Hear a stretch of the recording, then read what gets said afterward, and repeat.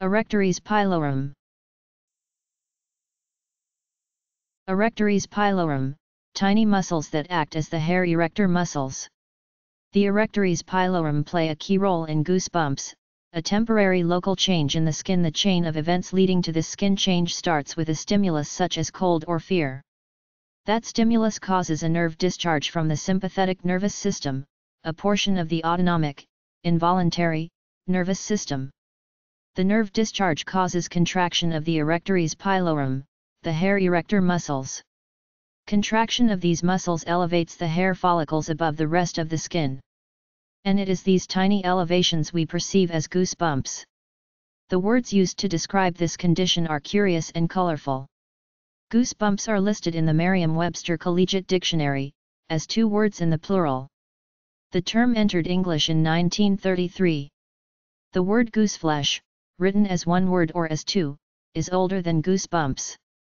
Gooseflesh dates back to about 1810, according to the Oxford English Dictionary, OED, which defines it as a rough pimply condition of the skin, produced by cold, fear, etc.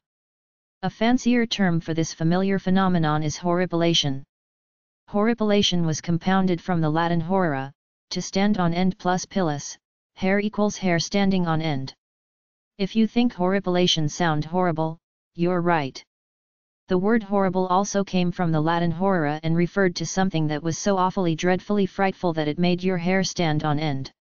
Medicine does not use a horrible term such as horripilation and rarely resorts to the commonplace words goosebumps or gooseflesh.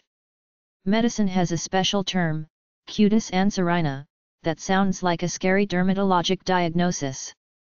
But it goes back to the goose again, since cutis, skin plus anser, goose equals goose skin. Some biologists believe that goosebumps evolved as part of the fight or flight reaction along with heart rate increases that send the heart racing while blood rushes to the muscles to give them additional oxygen. A similar phenomenon, bristling, in fur-covered animals may have made them look larger and more frightening and kept them warmer by increasing the amount of air between hairs which traps body heat. But in people there seems to be no practical purpose for goosebumps except, of course, to make our skin crawl. A R R E C T O R E S P I L O R U M Arrectores pilorum